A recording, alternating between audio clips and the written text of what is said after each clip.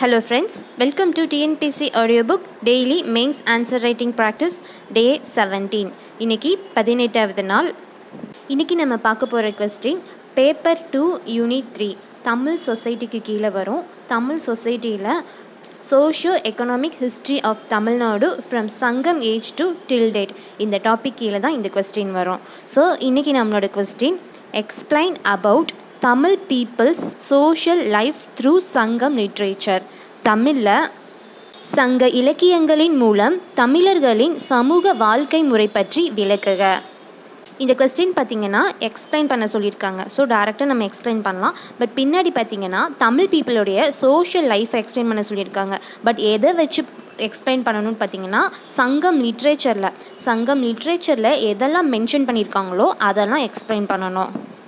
So இன்ட்ரொடக்ஷனில் எப்படி எழுதலான்னு பார்த்தீங்கன்னா சங்க காலத்தில் இருந்த தமிழ் பீப்புளுடைய சோஷியல் லைஃப்பை பற்றிலாம் நமக்கு இப்போ எப்படி தெரிய வருது அப்படின்னு பார்த்தீங்கன்னா சங்கம் பீரியடில் இருந்த லிட்ரரி சோர்சஸ் தான் முக்கியமான அதுக்கு வந்து ஒரு சோர்சஸாக ரிஃப்ளெக்டாக இருக்குது அப்படின்னு சொல்லிட்டு எழுதிட்டு நெக்ஸ்ட்டு வந்து அந்த main heading social life of Tamil people அதுக்கு உள்ள நம்ம வந்து ஒவ்வொரு ஹெட்டிங்காக எழுத போகிறோம் ஃபஸ்ட்டு ஹாஸ்பிட்டாலிட்டி ஹாஸ்பிட்டாலிட்டினா விருந்தோம்பல் தமிழ் அப்படின்னாலே முக்கியமாக ஹாஸ்பிட்டாலிட்டி தான் வந்து ரெஃபர் பண்ணுறாங்க அதாவது தமிழர்கள் எல்லாருமே வந்து விருந்தோம்பலில் விருந்தோம்பலில் ரொம்பவே நல்லா இருப்பாங்க அப்படிங்கிற மாதிரி.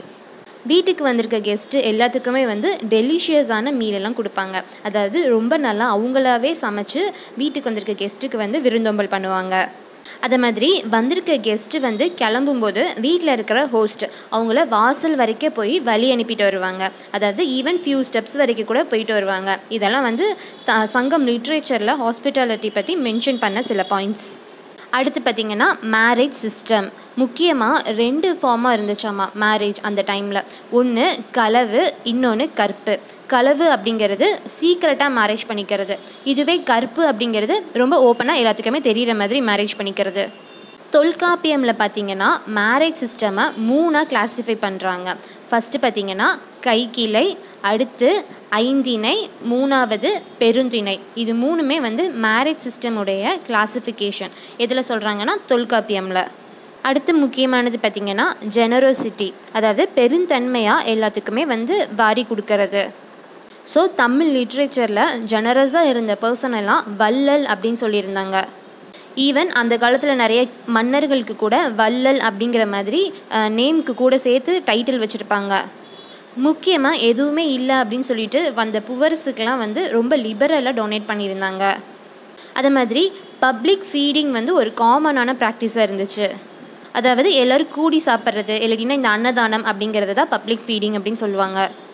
அதே மாதிரி எதுவுமே இல்லாமல் ஏதாவது வேணும் அப்படின்னு சொல்லி வரவங்களுக்கு சாப்பாடு கொடுக்கறத ஒரு புனிதமான கடமையாக அதாவது sacred duty feeding the poor was considered sacred duty அடுத்த டாபிக் பார்த்திங்கன்னா ரெஸ்பெக்ட் அதாவது அந்த டைமில் மக்கள் யாருக்கெல்லாம் வந்து மரியாதை கொடுத்தாங்க அப்படிங்கிற மாதிரி. தமிழ் பீப்புளோட வாழ்க்கையில் ஒரு அஞ்சு பர்சனுக்கு ரொம்ப முக்கியமான ரெஸ்பெக்ட் கொடுத்தாங்க. யாருக்கெல்லாம் பார்த்தீங்கன்னா mother father elder brother teacher and the king இது எல்லாமே வந்து லிட்ரேச்சர் சங்கம் லிட்ரேச்சர்லேருந்து சொல்கிறது அதே மாதிரி டியூட்டி ஆஃப் சன் அதாவது மகனுடைய கடமையாக எதை சொல்லியிருந்தாங்க அப்படின்னு பார்த்தீங்கன்னா அவங்களோட அப்பாவுக்கு பெருமை செய்தி கொடுக்கறது. அதாவது due year great tribute to father இதுவே ஃபாதரோட டியூட்டியாக என்ன சொல்லியிருக்காங்க அப்படின்னு பார்த்தீங்கன்னா தன்னோட மகனை அசம்பிளி ஆஃப் வைஸ் அதாவது ரொம்ப அறிவாளிகளாக இருக்கிற அரங்கத்தில் அவங்களையும் ஒருத்தரை வந்து ஆக்கணும் அந்த அளவுக்கு வளர்க்கணும் அப்படிங்கிறத வந்து ஃபாதரோட டியூட்டியாக சொல்லியிருப்பாங்க. அதாவது father should make son in the assembly of wise men அதே மாதிரி ஒய்ஃப்லாம் பார்த்தீங்கன்னா சங்கம் பீரியடில் ஹஸ்பண்டை ஒர்த்தி ஃபார் வர்ஷிப் கடவுளுக்கு ஈக்குவலாக வந்து வணங்கினாங்க. அடுத்து பிலீஃப் அண்ட் சூப்பர்ஸ்டிஷன் அதாவது அவங்களோட சில நம்பிக்கைகள். They believed in planets influenced in course of human life அதாவது கிரகங்கள் மக்க மனிதனுடைய வாழ்க்கையில் சில தீர்மானத்தில் வந்து முடிவெடுக்குது அப்படிங்கிற மாதிரி நம்பியிருந்தாங்க. ஏதாவது முக்கியமான ஜேர்னிலாம் ஸ்டார்ட் பண்ணும்போது ஆஸ்பீஷியஸ் டே அதாவது ரொம்ப நல்ல நேரத்தில் நல்ல காலத்தில் தான் வந்து ஏதாவது ஒரு முக்கியமான இதெல்லாம் ஸ்டார்ட் பண்ணாங்க.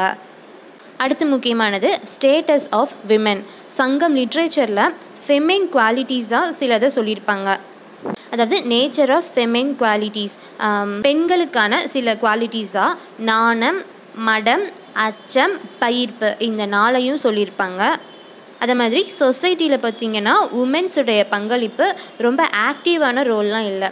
Only very passive role in society அடுத்து chastity was important virtue of women அதாவது சாஸ்டிட்டினா கற்பு. கற்பு வாழ்க்கை வந்து ரொம்ப இம்பார்ட்டண்ட்டாக நினச்சாங்க. அடுத்து ஃபைன் ஆர்ட்ஸ் அதெல்லாம் வந்து சோஷியல் லைஃப்பில் எப்படி இருந்துச்சுன்னு பார்த்தீங்கன்னா காமனான டேர்ம் கூத்து அப்படிங்கிறது வந்து எல்லா மதியிலையுமே வந்து நல்ல பிரபலமாக இருந்துச்சு. அந்த கூத்து அப்படிங்கிறத ரெண்டு ஃபார்ம் இன்க்ளூட் ஆகும். Dancing as well as acting ரெண்டையும் சேர்த்து தான் காமனாக கூத்து அப்படின்னு சொல்லுவாங்க அது மாதிரி ஏன்ஷியன் தமிழியன்ஸ் பார்த்தீங்கன்னா ரெண்டு விஷயத்தில் ரொம்பவே நல்லா க இப்போ கற்றுருந்தாங்க எதெல்லாம் பார்த்தீங்கன்னா vocal as well as instrumental music ரெண்டுமே வந்து ரொம்ப நல்லா கற்றுருந்தாங்க ஸோ இது எல்லாமே எழுதிட்டு கன்க்ளூஷனில் எப்படி எழுதலாம்னு பார்த்தீங்கன்னா சங்கம் லிட்ரேச்சர் வந்து தமிழை பற்றி தெரிஞ்சுக்கிற தமிழியன்ஸை பற்றி அவங்களோட சோஷியோ எக்கனாமிக் லைஃப் எல்லாம் பற்றி தெரிஞ்சுக்கிறதுக்கு ரொம்ப கிரேட்டான சோர்சஸாக இருக்குது ஸோ அந்த லிட்ரேச்சர் சோர்சஸ் மூலமாக நம்ம தெரிய வந்தது பார்த்திங்கன்னா ஈவன் இப்போ இருக்கிற கண்டெம்பரரி சொசைட்டிக்கு கூட நிறையா ஈவெண்ட்ஸ் வந்து ரிலேட்டடாகவே இருக்கும் அப்படின்னு சொல்லிட்டு கன்க்ளூஷன் எழுதலாம். ஸோ இந்த கொஸ்டின்க்கு உங்களுக்கு ஏதாவது பாயிண்ட்ஸ் இருந்துச்சுன்னா கமெண்ட் பாக்ஸில் சொல்லுங்கள் இதில் ஏதாவது டவுட் இருந்தாலும் கமெண்ட் பாக்ஸில் கேளுங்க. Thank you friends for listening to TNPSC audio book உங்களுக்கு இந்த வீடியோ பிடிச்சிருந்துச்சுன்னா லைக் பண்ணுங்கள் சப்ஸ்கிரைப் பண்ணுங்கள் and also bell button press பண்ண மறந்துடாதீங்க.